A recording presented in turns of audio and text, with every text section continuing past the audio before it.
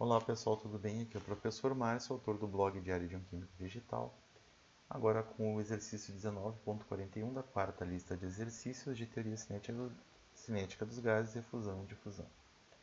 Então o exercício pergunta sobre, uh, usando as condições do exemplo 19.9 do livro, e admitindo que a amônia se difunde através de uma atmosfera de letra A, hélio, e letra B, hexafluoreto de enxofre e ele pergunta se a difusão será mais lenta ou mais rápida do que no ar.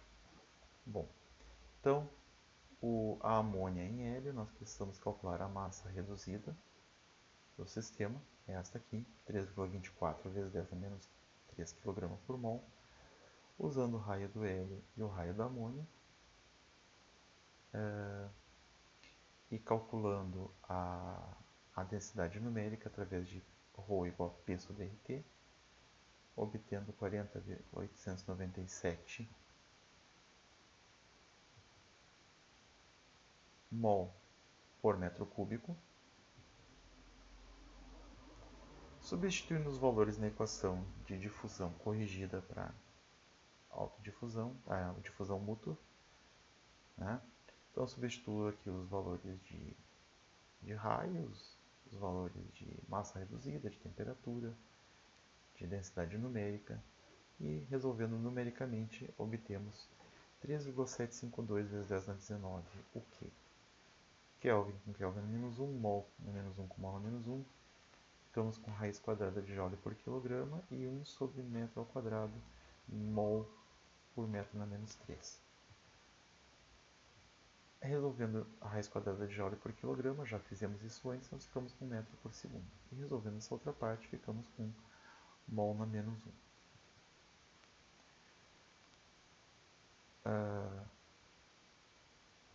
então, é, resolvendo isso, essa multiplicação desse termo por esse outro termo, nós ficamos com é, metro ao quadrado por segundo por mol. Como nós precisamos retirar esse mol, nós dividimos por 6,0221 vezes 10 a 23 e obtemos uma constante de difusão mútua da, do sistema amônia em hélio de 6,23 vezes 10 a menos 5 metro ao quadrado por segundo, ou 6,23 vezes 10 a menos 1 centímetro ao quadrado por segundo.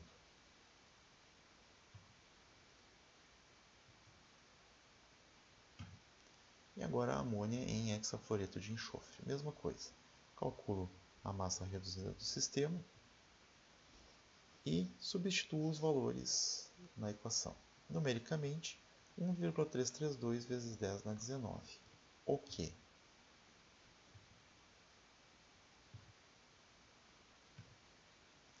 Metro ao quadrado por segundo por 1 sobre mol. Dividindo por 6,02 vezes 10 na 23, obtém 5,513 vezes 10 na menos 6 metro ao quadrado por segundo. Isso daria 5,513 vezes 10 a menos 2 centímetro ao quadrado por segundo.